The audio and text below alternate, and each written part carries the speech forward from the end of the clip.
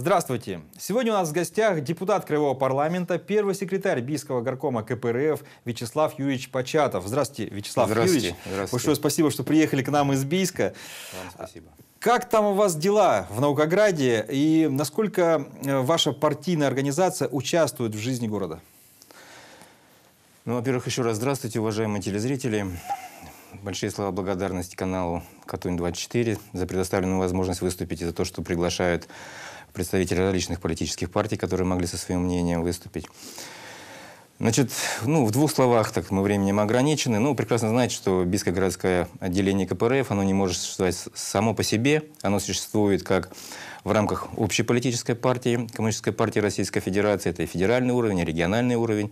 И главные задачи, которые, конечно, стоят перед ней, это продвижение программных требований КПРФ, которые у нас в соответствии с решениями наших высшестоящих органов, региональных, федеральных, ну, в соответствии с этим вытекающие наши задачи и те действия, которые выполняет Бийское городское отделение КПРФ. Основные моменты. Это первое. Участие, конечно, во всех выборах э, власти городских, региональных, федеральных. Э, Остановлюсь, что в прошлых выборах мы у нас прошло два депутата от города Бийска в Алтайское краевое законодательное собрание. У нас сформировалась большая фракция э, в 2017 году в Бийскую городскую думу. Э, представляли ее 8 депутатов, и это достаточно серьезная фракция. Вот. Следующий момент, который мы, конечно, для нас очень важен это участие и организация публичных мероприятий в рамках действующего законодательства для того, чтобы мы могли пригласить людей высказаться по основным социально-экономическим вопросам, которые волнуют в первую очередь жителей Бичан. Следующее, это, конечно, и немаловажное для нас, это работа с общественными организациями города. Их в городе очень много, и достаточно большое количество, э, ну, большое количество возглавляют коммунисты. Это и «Дети войны», и ВСЖ «Надежда России», и Союз офицеров запаса и в отставке. То есть мы мало, не- немалую роль этому выделяем. Также э, активно ведем работу с молодежными организациями с, по патриотическому воспитанию. Это и участие в работе в колледжах, и в институтах, и на различных площадках молодежных, где только можно э, привлечь. Следующий момент – это, конечно, жизнь, жи- жить жизнью города. Это участие в городских мероприятиях, активно принимаем участие в тех или иных мероприятиях, которые приходят. Это мероприятия памяти, это мероприятия такие, и мы организуем, какие можем мероприятия. Вот. Э, Каким-то образом э, ваша партия может повлиять на решение э, Бийской городской думы, потому что я знаю, что у вас, ну вот вы сказали о протестных акциях, да, ну были проблемы, были проблемы в городском хозяйстве, мы знаем, что было недовольство горожан по разным причинам, ну последняя история, это мусорная реформа, да, то есть нашумевшая. А удается вам как-то повлиять на это, может быть, мобилизовать силы и чтобы конструктивно, да, в конструктивном диалоге решать эти проблемы? Конечно, однозначно. Это, как говорится, сказать в этом вопросе.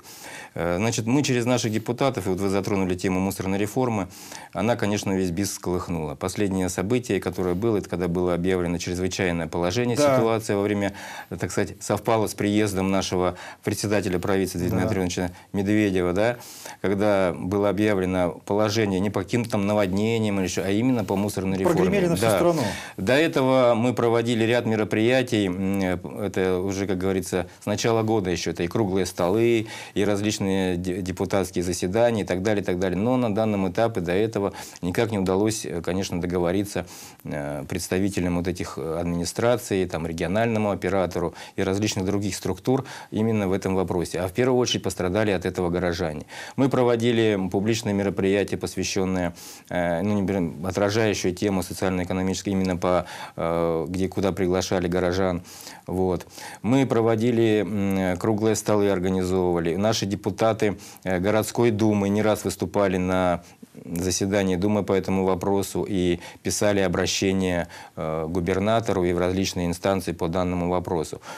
Мы встречались с главой города э, не так давно по вопросу, вообще по, у нас есть такая, как говорится, в рамках взаимодействия с политическими партиями глава города встречается э, с представителями партиями. Вот так, не так давно мы встречались с главой города э, Петровичем Студеникиным и, соответственно, проводили и задавали ему ряд этих вопросов. Ну, я думаю, что э, сейчас эта тема, она еще не раз всплывет, потому что сейчас, несмотря на то, что вроде как бы отменили Ну, положение, да. да, вроде снегом все присыпало, вроде и, убрали основные все э, мусорки, так говорится, в городе. Это очень радует, что нашли возможности и силы. Ну, я думаю, это будет это. И, конечно, мне вот как бенчанину, например, и вот как депутату, и как бенчанину, э, Обидно, обидно, что такой большой город, Наукоград, с такой традициями, с такими возможностями и прочее, прочее, гремит на федеральных каналах почему-то не с хорошей стороны, а то у нас чрезвычайное положение, то город завален мусором.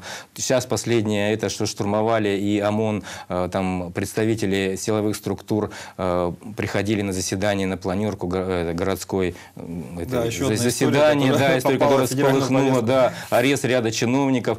Поэтому мне, как бичанину, конечно, обидно. Мне обидно то, что... Хотя городу есть чем гордиться. Есть у нас сейчас э, и строятся бульвары в городе новые, знаете, это тоже везде. Очень красивый да, город, да, красивые купеческий. бульвары, красивый город купеческий. Есть куда идти, двигаться. Но почему-то мы э, прославляемся именно с этой стороны. Мгм.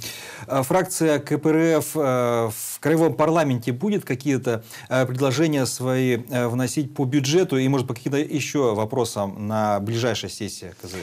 Конечно, конечно, мы не можем в стороне остаться, и всегда наша фракция э, была в этом вопросе занимала жесткие, серьезные позиции.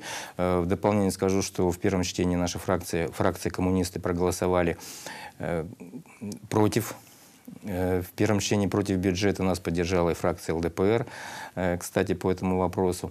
Вот. И ко второму чтению, соответственно, мы подготовим ряд поправок. Ряд поправок готовим, которые будут в первую очередь э, затрагивать э, такую категорию, как э, дети. Это касается питания, питания, потому что эта тема тоже у всех на устах, она поднялась, и, как говорится, сейчас гремит, и на федеральном уровне сейчас закон принимается, вот, э, рассматривается этот вопрос. Также эта тема была бурным обсуждением на первом чтении по детскому питанию, где выступала активно наш руководитель э, фракции Прусакова Мария Николаевна по этому вопросу. Ну и, соответственно, мы готовим ряд поправок, и это касается еще также и поправок э, для детей войны. Больная тема. Также будем Закон-то есть, а денег-то нет, денег-то не И каждый платят раз эта людям. тема выносится, и в бюджете в этом, к сожалению, опять не заложено. Это расход на эту статью, потому что закон пока не принят на федеральном уровне.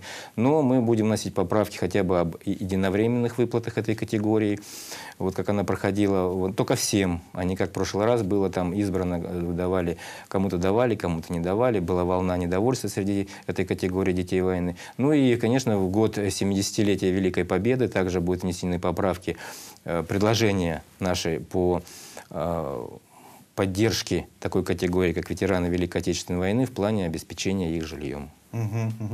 А В двух словах э, тоже напомните, чем закончилась эта история с горячим питанием. То есть кому все-таки сейчас э, полагается из детей э, у нас в крае, да, принят этот закон, да, там де- детям-инвалидам, по-моему, да, Да, да, да, в да, школах, да, да? да, да. Не всем детям. Да, и- детям-инвалидам. А малообеспеченным? И, ну, и о малообеспеченным, я говорю, эта тема сейчас широко муссируется. И Но пока решения да, нет. и много будет зависеть от... э, и Нет, на, на региональном уровне там какая-то часть заложена, что Ага, есть. Ну, заложена хорошо. часть на, из, из расчета 4, по-моему, 35 э, рубля на человека. Мы просим больше. Соответственно, 7... 7 Ну, 4 рубля это же смешно. даже, даже вот. булочку не купишь. 7 с чем-то. Поэтому я говорю, эта тема широко обсуждалась. И сейчас эта тема будет возложена на муниципалитеты. То, что это их будет обязанность, одна из их обязанностей, конечно, обеспечивать детей э, питанием, этой горячим кате- питанием. категории горячим питанием. Ну и тоже надо тему детей-сирот, жилья для детей-сирот тоже надо постоянно, да, то есть решать, потому что очередь все больше и больше становится, и как бы там ни было, это тоже проблема ведь, да? Да. Тоже- Эта тема постоянно э, она возникает Постоянного всегда внимания, на, да. да, постоянного Мгм. внимания и на социальном комитете, и на всех думах. Я вот лично участвовал тоже, приезжал при со- социальный комитет в город Бийск, где были... У вас, пред- наверное, еще меньше дают квартир, да? Вот. Не, ну дадут, кстати, город Бийск один, из лучших Да? по этому Ну. положению. Мы вот вместе с социальным комитетом посещали там, где дети живут в общежитии, хорошие условия. Ну и ряд программ э, обозначил, с которой пыта- будет пытаться и содействовать для того, чтобы эту проблему решать. Ну хорошо. А, удачи вам. Главное, конструктивной работы, да, со всеми фракциями. Здоровья, до новых встреч. Спасибо Спасибо. большое вам тоже. Я напоминаю, что у нас в гостях был депутат АКЗС, первый секретарь Бийского горкома КПРФ Вячеслав Юрьевич Початов. Спасибо за внимание, до встречи.